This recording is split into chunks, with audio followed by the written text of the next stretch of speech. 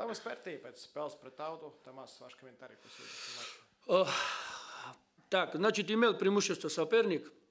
Э, Очень хорошо они обращаются с мячом.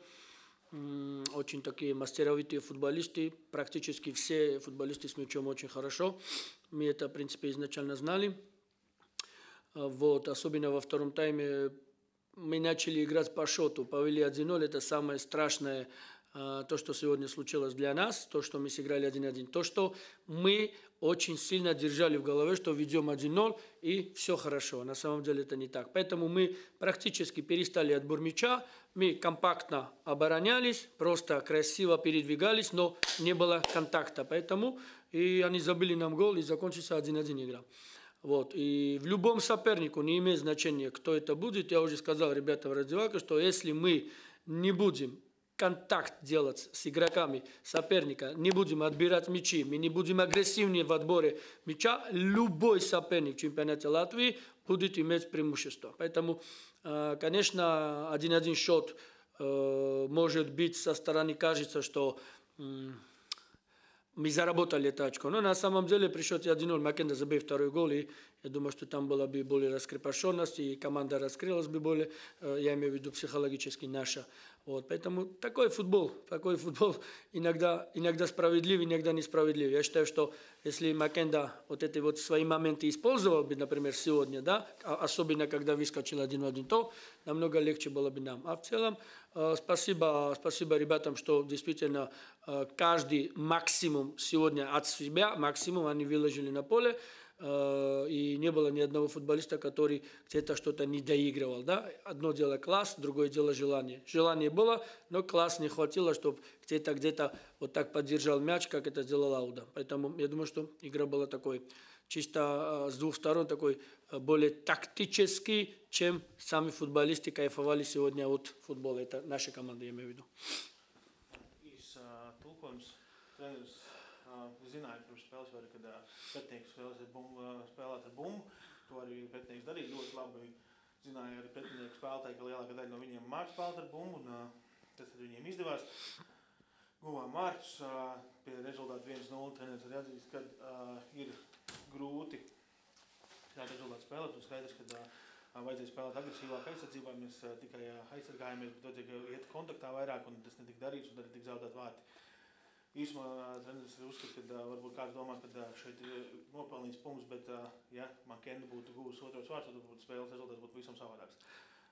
Ska- Skaidrs, ka pret jebkuru komandu ir jāspēlē agresīvāk aizsardzībā, tāpat arī kontaktscīņā. To viņš arī minējis komandai arī pirms spēles. Un arī ar- teica, arī, ka ar visām komandām tas jādara. Ja ne, tad mums kontrole būs pretiniekam un būs grūtāk spēlēt.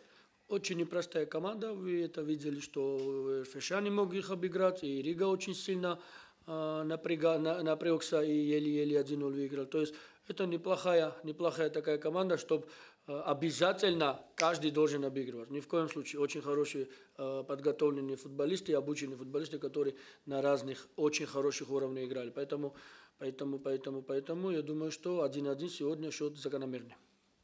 Но если смотрим э, ход игры, можно сказать, что сейчас Ауда более готова, более классная команда на этом этапе сезона. Да, я думаю, что да, на этом этапе.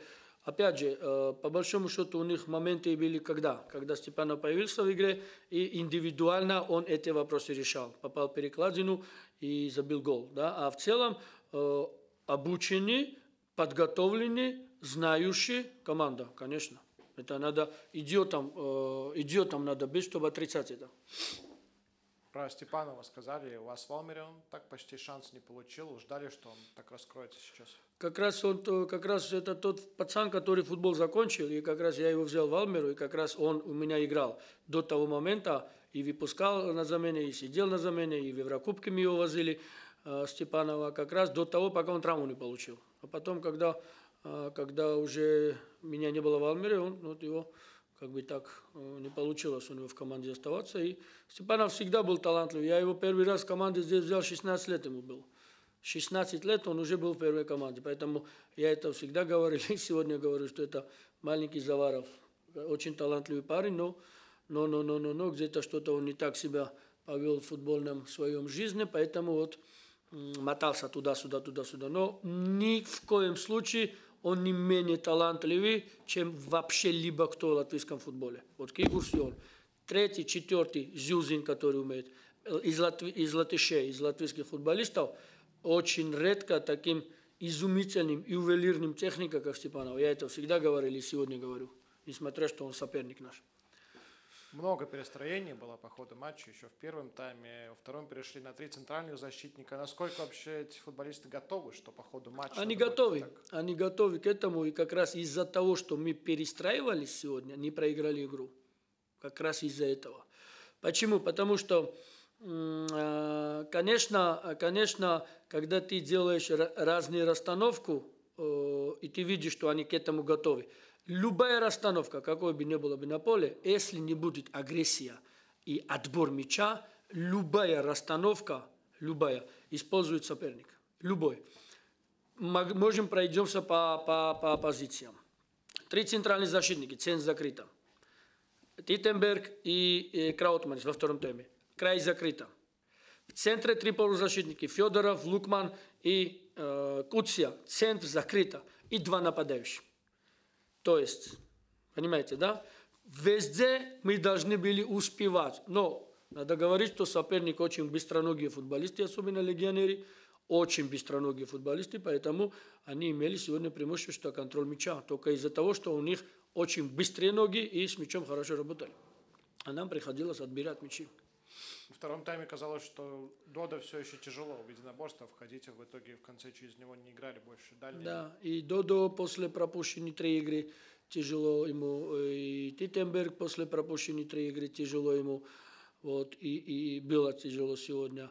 А, вот, поэтому и вот эти лидеры, которые, э, которые не могут проявить свой высокий уровень, которые они могут, Поэтому и сыграли 1-1. Но при счете 1-0, когда мы повели 1-0, там должен был быть спокойствие, там должен был быть уверенность. Но опять же, это, это все возраст. Это, я уже проходил через этого, когда 1-0 ведешь, молодая команда, и они в голове держат сохранить счет. Никогда не удастся сохранить счет. 95% ты все равно пропустишь, когда счет сохраняешь, хотя весь штаб выше выгоняли и двумя форвардами играли, то есть мы не отказались от центральных нападающих, у нас было два форварда, и, и, и весь штаб гоняли их выше, выше, выше. Плохо вышел Нино, очень плохо вышел и не помог нам выйти из обороны в атаку. И вот эти все складывается так, и поэтому сыграли 1-1. А кто-то скажет, выпустили третьего защитника при 1-0? Да, потому что я вижу, что давление идет. Давление идет, и два центральных защитники прижимались назад – били преимущество этих ребят из Африки, обоих с мячом. Вот, поэтому и закрыли все в центре. Поэтому и ничего практически они не имели. Если по моментам возьмем, ничего не имели. Ну, опять же, Степа, то, что я говорю, что индивидуально. А так, что они зашли туда, забегали, били моменты, Лазарев сегодня что-то сделал, какие-то сейвы Лазарев. Вот, поэтому закрыто было все. Но там надо было в этом закрытом пространстве отбирать мячи, а не пятиться назад. Это, это мандраж, определенный мандраж, э, это возраст. Потому что Макс Федоров, он очень хорошо отбирает мячи, он очень хороший отборщик на тренировке. Но это мандраж, это в таких матчах ответственных, он очень редко бывал, потому что он играл в таких командах всегда, что э, такие ответственности, что надо обязательно выиграть, не было. Поэтому это давление есть на него, и через это давление он будет расти обязательно. Еще в первом тайме Тиденберга перебросили с одного фланга на другой, сняли Гринбергса, выпустили Да, Федорова. проигрывал он, проигрывал Гринберг. Во-первых, каждый раз, когда он идет в борьбу, я глаза закрываю от страха, потому что у него э, сломанная практически рука, сломанная, и у него этот стоит этот, как, да, стоит вот это, и каждый он так держит, каждый раз у меня страх, поэтому и когда я понял, что он еще проигрывает, он еще борьбу проиграл, скорость проиграл, поэтому мы перебросили сюда Титтенберга и Краутманиса туда, влево. Подытожив, э, многие прослушают, и Лепая оборонял, Слепая боролась, Слепая защищала. Наверное, не те слова, которые хотят слышать болельщики.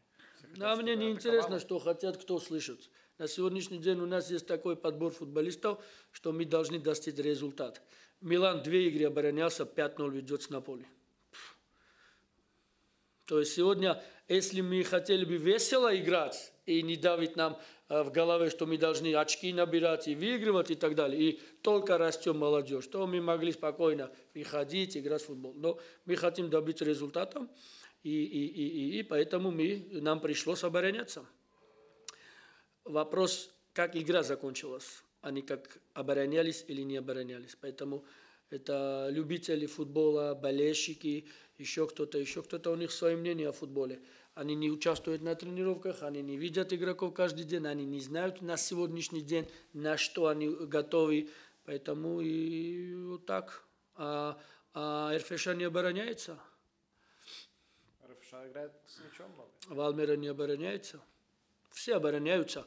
Какой-то кусок игры. Все обороняются. Абсолютно все.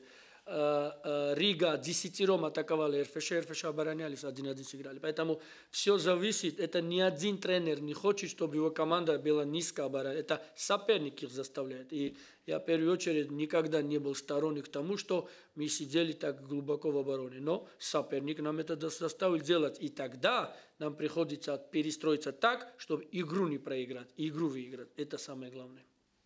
В конце по поводу соперника и сентиментальной встречи. Марк Зонтерс выдвинулся в Лепо в качестве соперника. Как вы приняли его, не приняли? Ну как, э, а он что, он, он должен был приехать в свой город со своей командой, где он сегодня работает, и провести работу. Они провели работу с тренером. Как, как я должен, как я должен отреагировать? Все нормально. Пожали друг друга руку после игры. Все, все хорошо. Это же, это же, это же жизнь такой футбольный. Сегодня здесь, завтра там послезавтра может опять здесь. Поэтому все, все нормально. Это, это такой э, эпизод жизни, что каждый человек может, я тоже уезжал, вернулся назад. Поэтому у нас судьба такой у тренеров, у футболистов, что мы можем э, оказаться вообще в таком месте, что никто не ожидает, или потом на, обратно вернуться. Поэтому это нормальные э, футбольные, скажем так, эпизоды наши, тренерские, футбольные.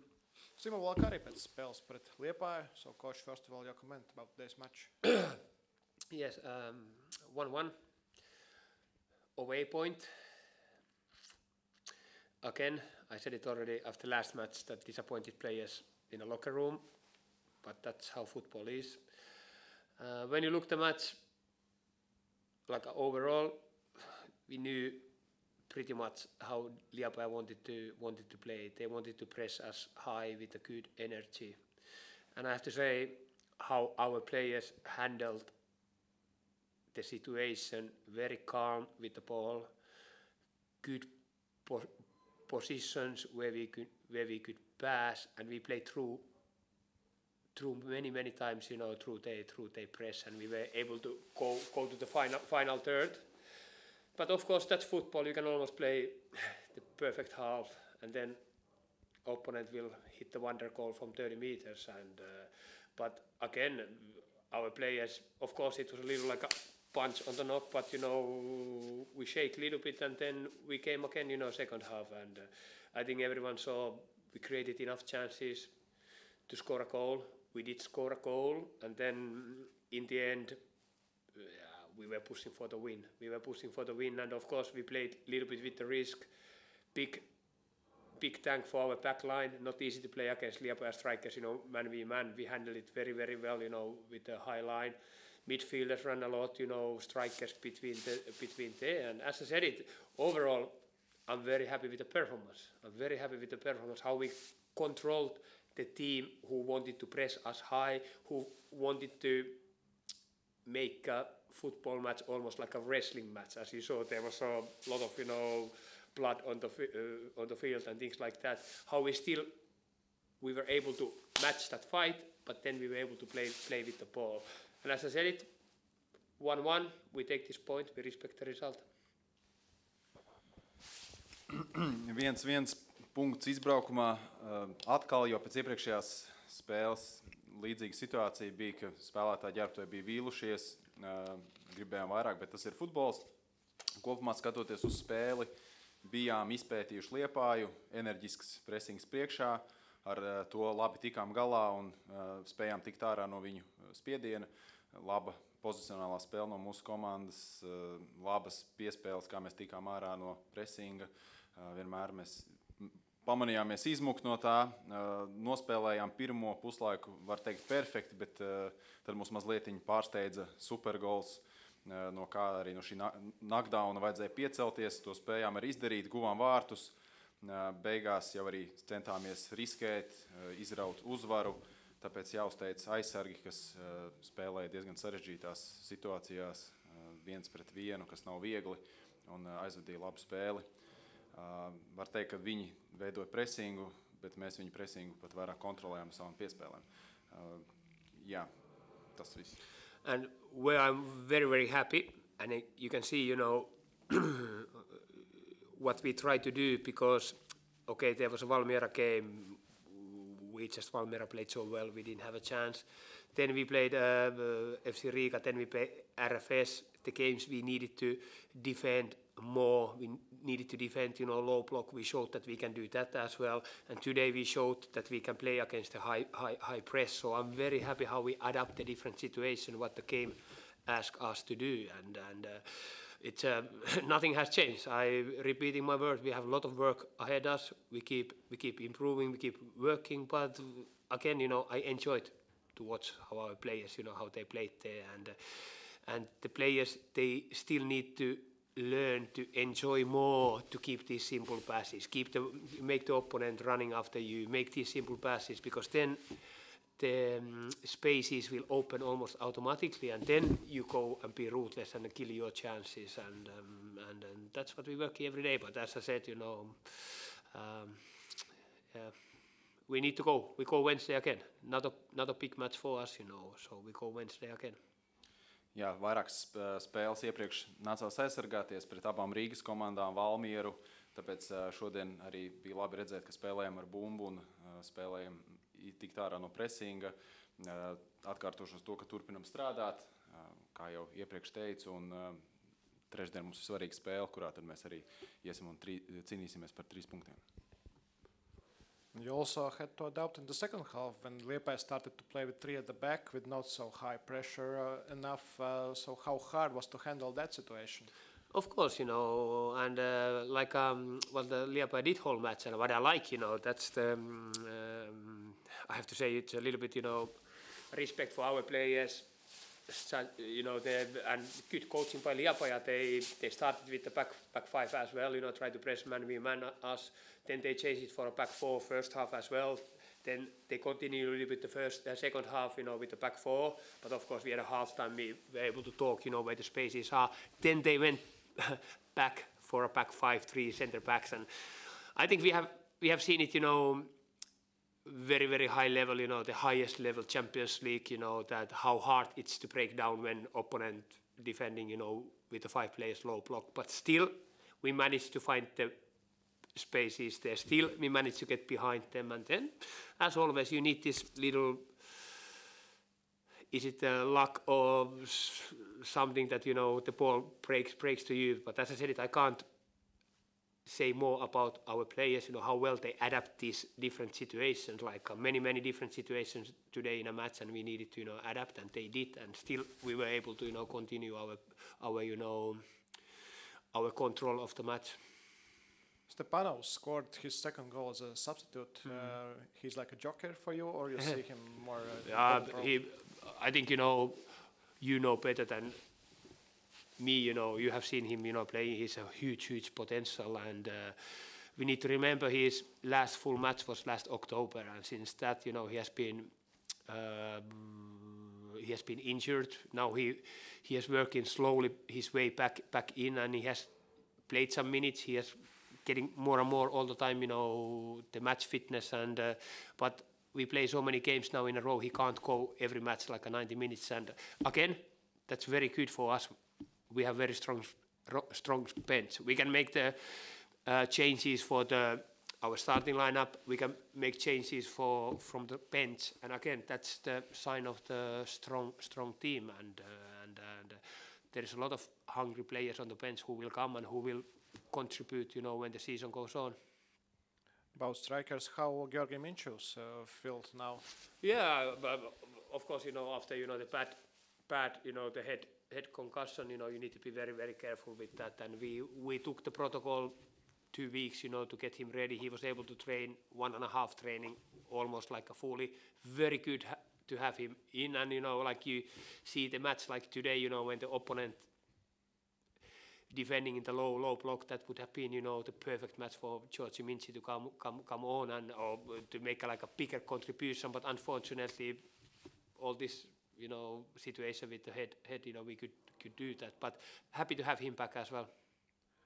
Oguni played last match and the first half as uh, one of strikers, but uh, then you switched him to fullback position. Uh, you see potential him more in, as a striker or as a fullback? Yeah, and that's you know again you know he's a very adaptable player that he can play different positions, and I have to say it was a very strong and hard decision to make half time to take Nico out and make you know team as a wing back again that we get Stopa like a little bit more attacking player there, you know, up front, you know, and and and and uh, of course it paid off. Stopa goal, scored the goal, and I think Tim, he's he's you know, uh, I love to work with him. He's always smiling. He he just loves to play football, and and and, and um, great character, great potential, and now I think what we need to work with Tim, you know, is this, you know, the calmness in a final third. Like now he was many times in a box that how he can make that final shot, you know, how can make that final key pass and, you know, but as I said, it when you arrive in those moments more and more and more, you know, they will come. Your assistant coach Marek Zunters had very warm welcome here in Liepaja. Uh, did you know his backstory in this club? Yeah, yeah. We, we were we were running this morning, you know, with Marek, you know, in a city, and um, I think you know everyone knew Marek. You know, he needed to say hello, hello, hello, and to be fair, I'm not surprised at all because what a character he is, how good, good, good man person he is, and top of that, he's an unbelievable good football coach as well. So I'm very lucky to have him in our team. And like today, you know, and all these matches, you know, he's so big help me. You know, he he looks the game, he gives me a very good advices, and uh, and again, you know, it makes us much stronger. And I was because of course I knew that Marek how much the Liepa, you know, it's his home city and he loved love, love this city. But like Marek say, you know, now we're working for Auda and that's our, you know, love, love now. But to come back here and to get this warm welcome, you know, of course, we are human beings and, you know, it's a, it's a, I, I saw it, Marek, he was a little bit touched, you know, of course, you know, and, and, and totally deserved this warm, warm welcome.